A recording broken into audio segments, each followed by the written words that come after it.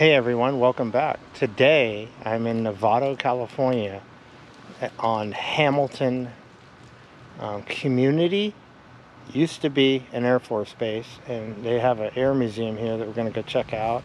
And we're going to uh, drive around and check out some of the old abandoned military areas. But this was built and um, started building in 1932, finished in 1935 and um, on December 7th, uh, during the Pearl Harbor times, um, there were four bombers that went from this Air Force base over to Hawaii, and also it became a training base uh, during the war. So let's go see what we can discover here at the Air Museum and the whole area.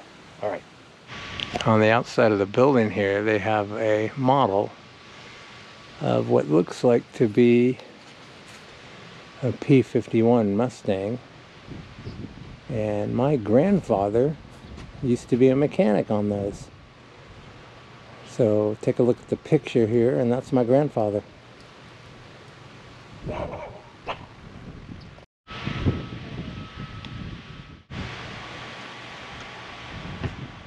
Got this old bell here, but no description of what it is. And if it sounds in, I can... No, it won't ring because it's on these uh, platforms. And then over here is an old rotary engine. F F6F Hellcat Navy single engine fighter of World War II vintage crashed on a landfill in 1945 and it was there until 1985 where it was discovered.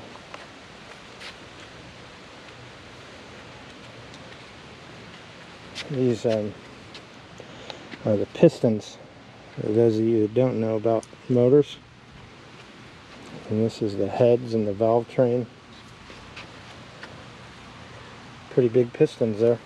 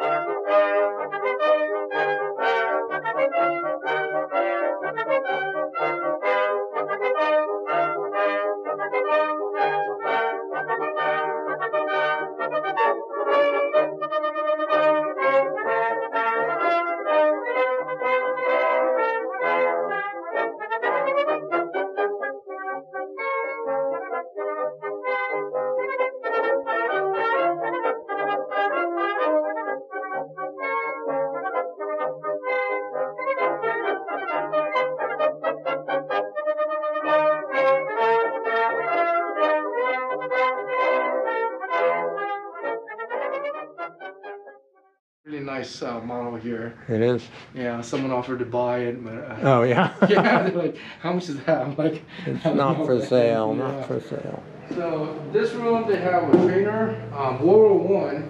This guy is probably the first like VR. Uh, Virtual reality. Yeah, like video game. Hey, hey kids, uh, Look at that. I mean, Xbox 360 Yeah, and uh, it's, Part it's- One. You know, it's I was told like one of four that's complete uh, in the country, and they were able to get one. Really? And it looks like it's still in really good condition. Oh, did it actually know. move and stuff? Yeah, so it's got the motors in there. It's got an on-off switch. Wow, and this uh, thing's you know, cool. if someone knew how to tinker with this stuff, I, I think they could probably still get it to work because I think it's pretty complete. It's still got all this stuff in here. That's you know, pretty so, pretty awesome. uh, but as you can see, look how small that thing is, man. Like, you know, I guess back then they were smaller because right now it's like, you know, it's, it's hard to fit in that unless you're a kid. You know, Yeah. Close that lid, I mean, you're not Well- anything. You got to trust the instruments. Uh, you that know, was so- for before the development of high fructose corn syrup. Yeah, you know, shoot, for sure. Where man. everybody's walking around with a little extra poundage. Ah, man, what a gimmick there, huh? Like, um, so all this stuff, radio equipment. Yeah, Very nice. very cool stuff. A lot of training stuff. Yeah. So here's more radio equipment. Yeah, I don't know, man. It's hard to keep track of all these like instruments of the, the the time, early airborne radar tube. Yeah. Uh, what is this thing? Is some kind of transformer Intercom system, World War II. stuff. Ah, no, man. It, it looks looks definitely ancient. uh, rudimentary stuff here. Yeah. No, no circuit boards there. And here we got this wall of all the commanders. Okay. um, all the way from 1934 to the last one in 1976. So all the commanders out here, um, you know, the one thing that all in common, they were all white and all, all men. And so all guess- white and all men. Yeah, and then that's you know that was the time, and that's how it was, and Yeah. so that's this wall, and yeah, Very interesting. Some of these guys look more serious than others, you know. yeah, and they all love from that Like, video. this guy doesn't look like he me- be messing around with him. yeah. But Yeah, from that video we watched, like they all loved being stationed here. You know, this was like the the, the best place to to be stationed out of. this is like the movies they used, part of the movies they had played. Or It looks like they have some reels there. Yeah, Interesting. movie theater that was built in 1938. Wow. You know, and you know you see some of these photos here, like you know very uh, very. Uh, Vintage, retro. I That looks a like the famous New York one, right? Exactly, exactly. Yeah, the V-Day celebration photo coming back. Exactly. Look very nice. That's a very nice photo. Actually. Yeah.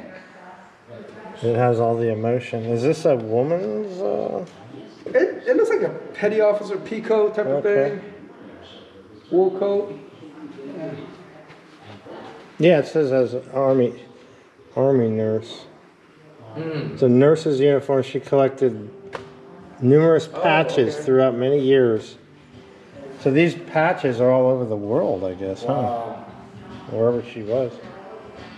That's Oh, pretty it neat. looks like We made a movie about these guys. Yeah. I think that movie was like the the Red Tails or something. Yeah. Right. Like, Yeah. Here's the building we're in, huh? So yep, the big old bays, bay doors that we're standing right in front of, right here, Oh, so these doors right here. Yeah. right there. Mm -hmm. Oh, wow. Interesting. Yep, and you got all these uh, different uniforms. This guy's ready for Corona. Yeah, you know exactly, man. Just he's safe. Yeah. He's ready to go. His, he's covered for corona, monkeypox, whatever you can throw Yeah. Whatever's next on the radar. Oh my gosh, man. This is 1940 flight suit. And cool. tech sergeant, and this guy's going to a dance, looks like.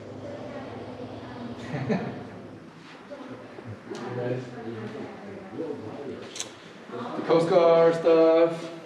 They're out here as well. Yeah, they're still based here, right? Yes, right across the street. Um, but I believe they are moving out. So Really? um, yeah, they have something by Point Reyes Station. So I believe these guys are heading out. Very nice This. Coast Guard. she looks like a zombie. Master Sergeant. Gene Colby. Nancy Peters. I don't know, the mannequins are a little creepy. What's with the bent propeller? Yeah, so these these are actually the crash sites. Um, every single one of these represented a crash In the Bay Area? site in the Bay Area. Yeah. so, Wow. um, way more than I expected, and Yeah, because I know there's on Ma- when I grew up in Mill Valley, I hiked on Mount Tam, uh huh. which would be right here, and um, there's a canyon we call the plane crash canyon because there's plane parts all over it on Wow. Mount Tamalpais. Wow. Okay. So you guys saw like all kinds of debris out there, the aircraft debris Aluminum out there. debris, yeah, Yeah. yeah. Some people had some uh, rough, rough crash land or crashes out there. Yeah. huh? Yeah, this is like a landing gear out here, uh, propeller. And I read somewhere that Clint Eastwood served in the war. I think he did. Yes. And I, I read that he also crashed a plane Wow. Okay. in Marin County somewhere. Oh. Wow. Okay. I don't know if it's true. Okay. These are all parts. Yeah. From the crashes. Scary stuff. Yeah, man. I don't know. Th- Things can go real bad. Uh, these crashes look like uh, pretty serious crashes. I don't know if these folks survived them or not, but Yeah. um, a lot of debris from the crashes. Yeah, I see whole case. Yeah, when things go wrong on a plane and you're a couple thousand feet up, uh, it doesn't make for a very uh, good feeling up there. No. And this gun was um, retrieved from a crash. Pistol. 38 special. Hmm. They might even have uh, in here the Mount Tam thing. Officer hats, caps, Yeah. and models and awards and what's that plane? How to identify American and Japanese airplanes. That's kind of a wild book there. If they're not shooting at you, probably American. Yeah, exactly. Most, Amer- most amount of women Air Force officers out here. In the military, Yeah, out in Hamilton. Yeah. a lot of women. They were the WAF, Women Air Force. Um, Oh, that's pretty cool. Like the 70s or 60s do there. yeah, they had all these like cool uniforms, man. They looked very orderly back then. You know, it's like these uniforms, and they they have like you know beauty pageants and stuff. Yeah, I'm noticing this. This is a beauty You know, pageant. fun stuff. Here's another wall, of the beauty pageants. It's kind of, they had their fun out here too. You know, it's like, this actually looked like a really nice place to, you know, be stationed out of. Um, the weather is awesome, and Crazy, all the history. And, and a guy in nineteen sixty-one, the first year. Huh, wow. and there was a trigger mechanism that flew from Hamilton out of Hamilton onto the plane, and and uh, yeah, the trigger mechanism flew into Hamilton Field and loaded on a truck. and loaded onto the USS Indianapolis, and, and it got installed on the Enola Gay. Wow. So, you know, Hamilton has Yeah, that's uh, some crazy. huge plane, man. This thing is, wow. Uh, Um, one of the pilot, one of the crew actually went to San Jose Middle School. this is a T33A, a T6 Texan, a F106B Delta Dart, an F104A Starfighter. That thing looks cool. Those are tiny wings on it. An F-80A Shooting Star. An F-101B Voodoo.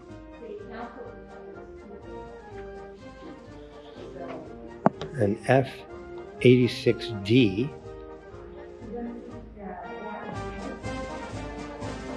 an F 89B Scorpion. an F-84D Thunderjet. Uh, this is an A26 slash B26 Invader.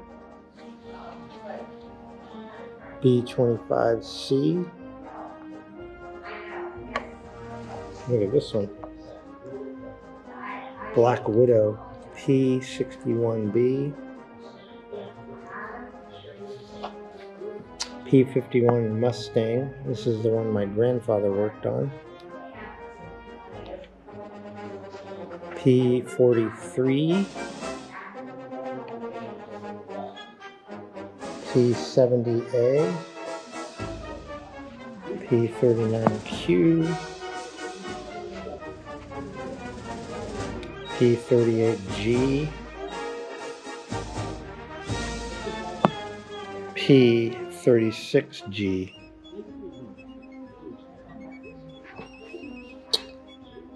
P40B and P26A. I got this case here of all these photographs and patches and pictures of a hurricane and the U2. This guy required a tank of gas just to get to the altitude it needed to get to. Check out that patch.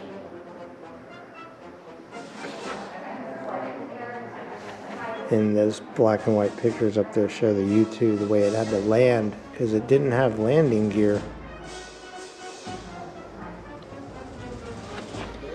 And there's some medals. And then below here, there's more. Look at the helicopter there. And the patch. I love that shirt.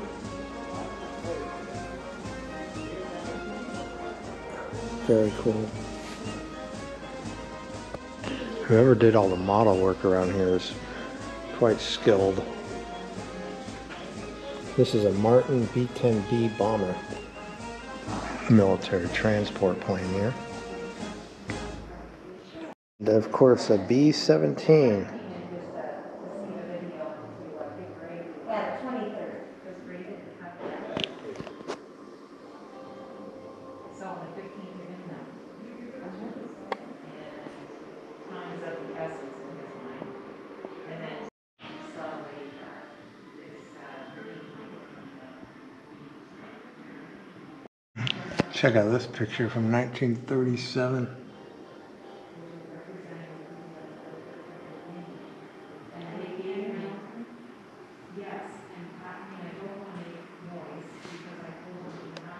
Sign here says in July 1972, an F-106 landed fast and lost control after touchdown.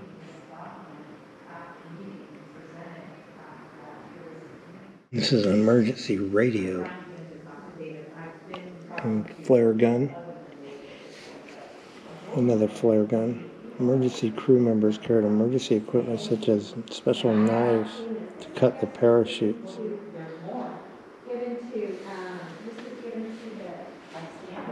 Life vest dye maker or marker.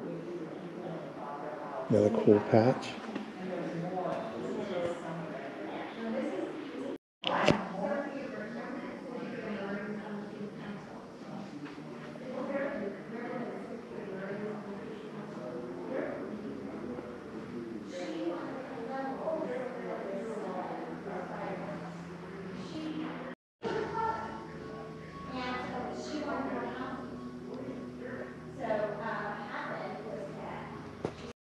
This is interesting. It says uh, 1920s arms rack. This rack held pistols on the top and rifles below, se- secured by locks.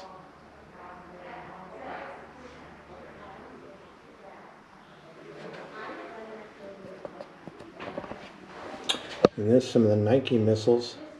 I did a video about that. Check that video out. And this is um, top of Mount Tam.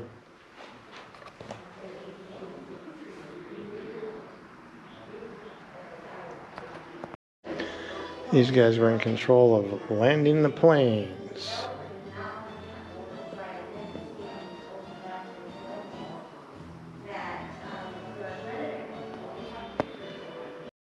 More cool patches.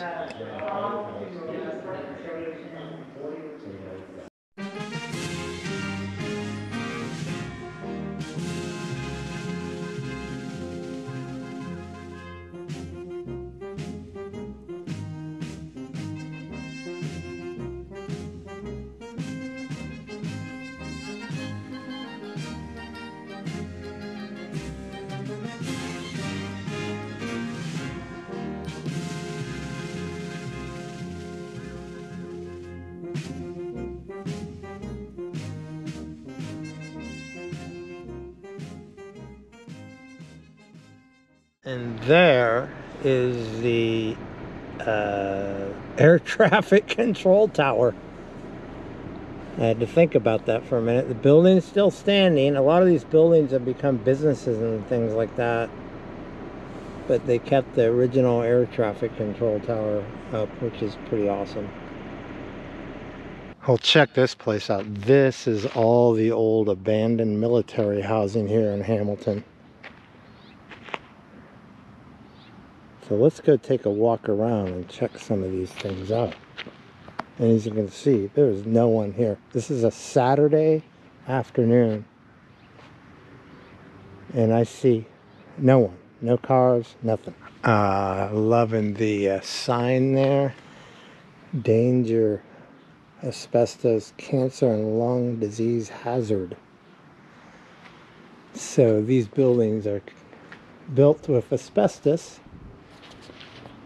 which if you leave it alone is fine, but if you stir it up, it's not so fine.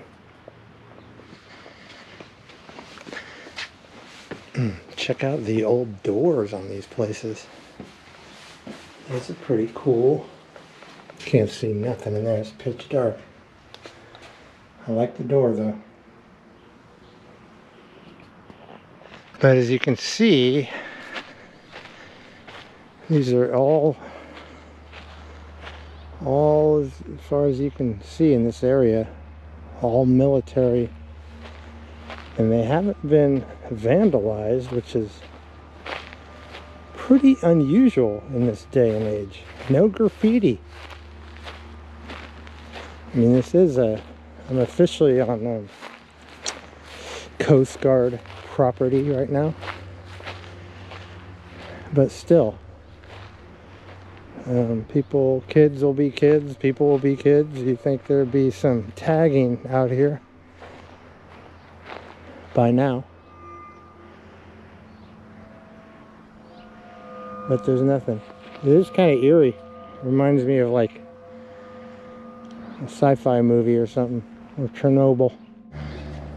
Definitely another good place that you could film a horror film. Come out here late at night.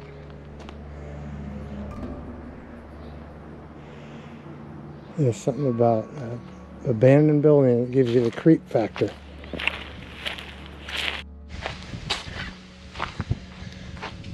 Nice palm tree there. That's a big one.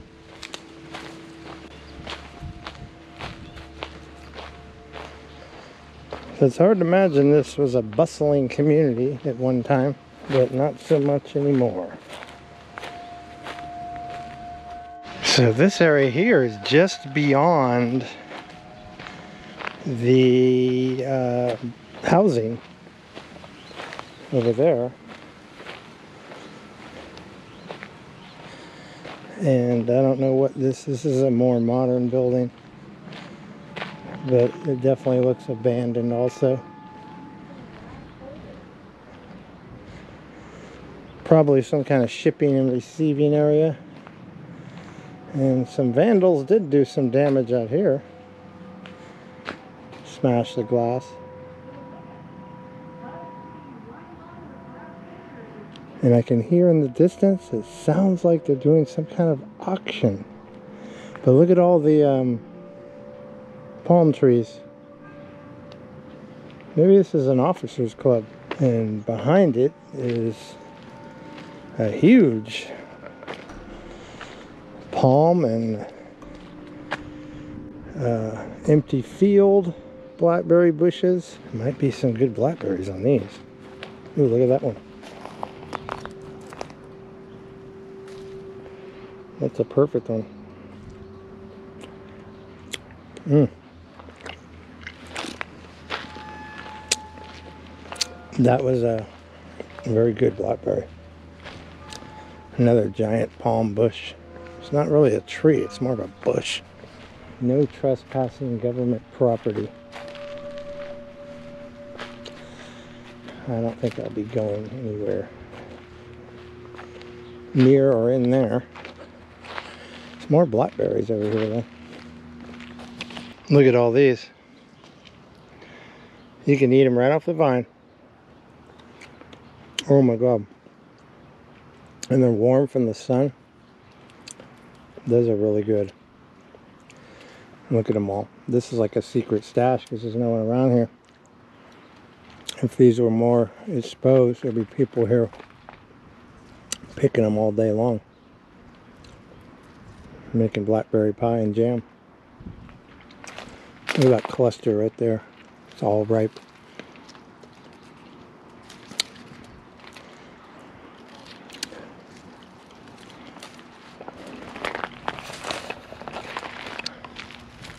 So anyway, man, those are good. I'm gonna have to have another one.